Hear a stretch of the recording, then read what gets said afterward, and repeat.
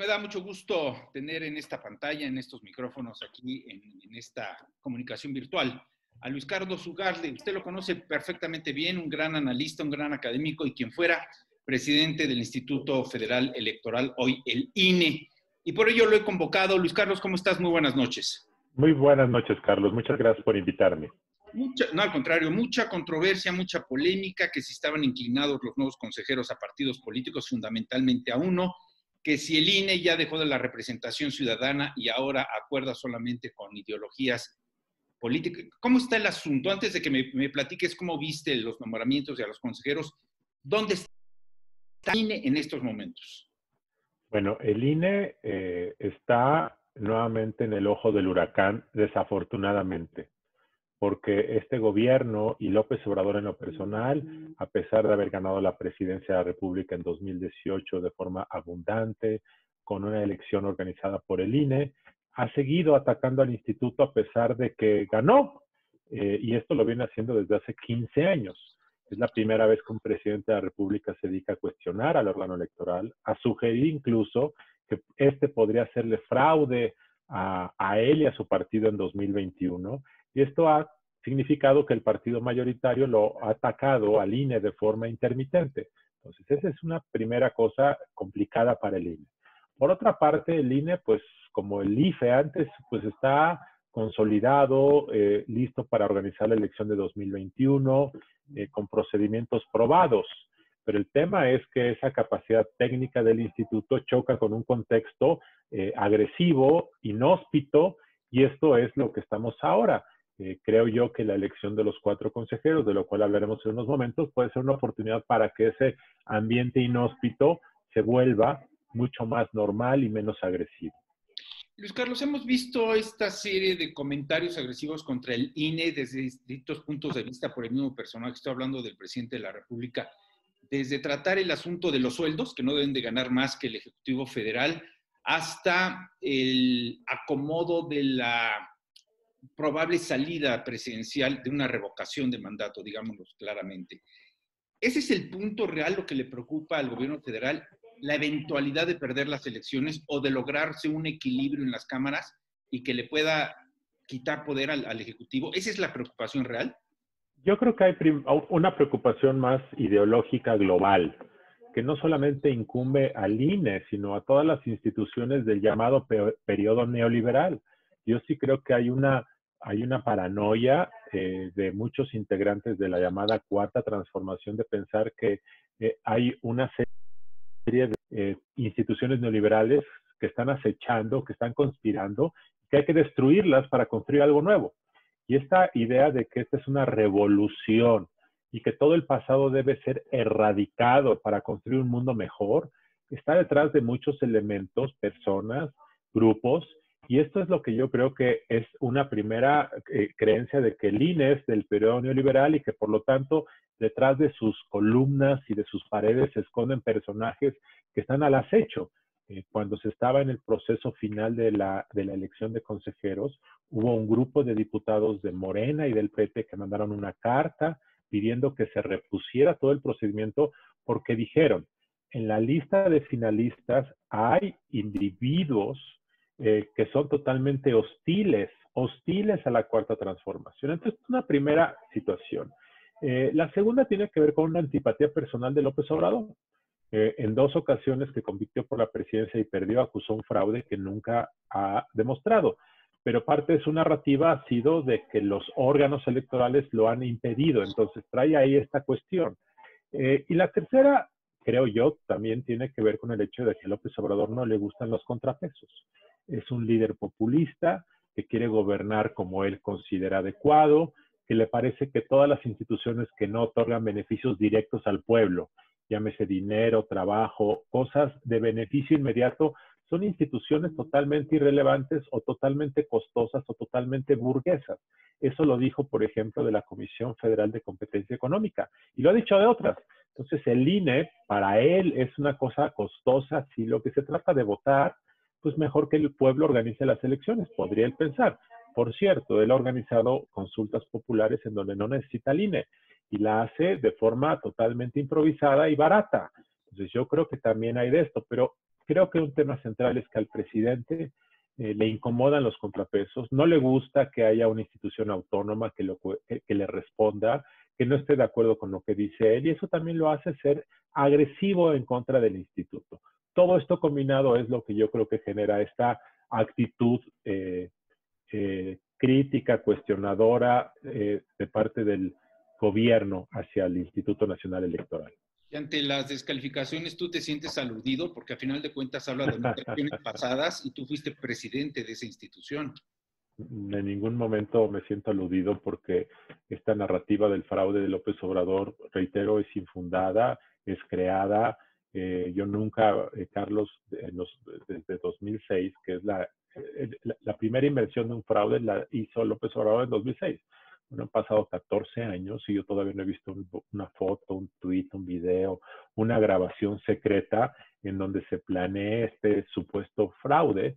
Así es que a mí me parece que eh, López Obrador ha hecho un fraude de la historia, alimentar algo que nadie ha demostrado, eh, al distorsionar la historia, eh, y esto me parece que es parte de su narrativa. Así es que lo sigue, repite y repite y repite, y lo va a repetir hasta el final de sus días. Em, he visto, he relacionado varios, eh, varias reflexiones de distintos personajes en relación al nombramiento de los cuatro nuevos consejeros. Y después de la votación, después de la elección, han acordado en que fue un proceso transparente, histórico y democrático. ¿Tú estarías de acuerdo? Porque días antes, segundos antes, se hablaba de la intervención de Ackerman, se habló de un fuerte regaño del presidente a Mario Delgado porque no se cumplieron sus expectativas. ¿Dónde estamos parados con estos nuevos consejeros? Bueno, primero vamos a hablar del proceso y luego de las personas. Yo creo que el proceso estuvo muy bien. Estuvo muy bien porque hubo un comité técnico de evaluación que eh, hizo bien su trabajo, que en el último minuto por un berrinche del señor Ackerman, y hay que decirlo, no es, estoy hablando de forma literal, un berrinche porque él participó en el diseño de las reglas, eh, avaló los procedimientos, estuvo de acuerdo con todo, hasta que en el último minuto una persona no quedó en el, entre las 20 finalistas y se paró de la mesa y la tiró. Eso se llama berrinche. Entonces, a pesar de ese dato último, parece que el comité hizo un buen trabajo. Dos, eh, me parece que a pesar de los intentos de distorsión y de que se repusiera el procedimiento, eh, los diputados y sobre todo Mario Delgado logró contener la rebelión eh, y logró que se votara por unanimidad. Y eso me parece que es un gran signo y un símbolo, y eso llevó a que López Obrador, el mismo López Obrador, hubiese dado su aval, y, y eso me parece que es una buena manera de que nazca esta nueva, esta nueva fase con estos nuevos cuatro consejeros. Entonces, muy bien. Ahora bien, de las personas, eh, eh, pues el comité técnico hizo un filtro y llegaron 20 claramente en el camino se quedaron algunos que en mi opinión eran muy buenos. Por ejemplo, Jorge Alcocer, eh, que es ahora funcionario de la Estrella de Gobernación, me parece espléndido y quedó fuera. Y hay dos o tres otros que me parece que eran, son espléndidos. Pero bueno, siempre hay subjetividades y esto ocurrió, pero dentro de los 20, pues me parece que sí había diferencias. En mi opinión, había unos espléndidos, otros normales y otros menos experimentados creo yo que de la lista final hay uno o dos que son muy buenos y hay dos o quizá tres que les falta experiencia eh, y que yo creo que había otros mejores, por supuesto. Pero en esto no necesariamente llegan los mejores, llegan los que son aceptables para los partidos y en este caso sobre todo para Morena, que era la parte que se sentía que había una conspiración yo creo que parte del trabajo que hizo Mario Delgado fue tratar de escoger de entre los 20 tres o cuatro que no les generaran este, demasiado temor. Y lo digo porque dentro de Morena, a pesar de que son el partido en el poder, prevalecen, Carlos, una serie de estigmas que a veces son caricaturas de la realidad. Por ejemplo, una de las personas que quedó fuera del, del Consejo General del INE, que me parecía espléndido, es un académico del CIDE que se llama Javier Aparicio. Sí. Bueno, como el CIDE para muchos en Morena es una institución neoliberal porque es una institución de mérito donde es muy, se tiene que estudiar mucho, bueno, esta cuestión y entonces se estudia economía neoclásica para ciertos elementos de Morena es, es una institución de élite y la élite para muchos de Morena es símbolo de la mafia del poder. Esto es una caricatura, pero así funciona en muchas personas de la 4T.